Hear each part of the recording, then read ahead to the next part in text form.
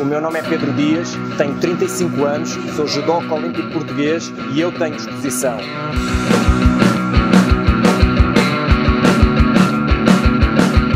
Ah, eu comecei a praticar ah, judô quando eu tinha 6 anos, quando entrei na, na escola, e a minha mãe não hesitou em colocar-me nessa modalidade, porque quando ela era mais nova, ela queria ter ah, experimentado também fazer judô,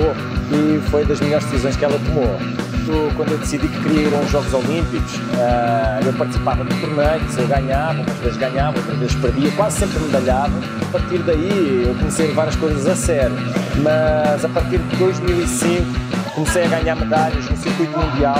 e eram essas medalhas que me iam possibilitar chegar aos Jogos Olímpicos.